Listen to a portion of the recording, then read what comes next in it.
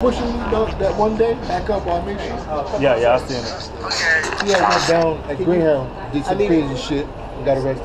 Sir, So, can you put that in your trunk for me? My trunk, trunk of my what? Trunk of your car. Are you crazy? What's in that bag? I'm just saying. Come on. I thought we worked this out. oh, I'm sorry. You customer service, man. You can't open it, but can you put this in the trunk?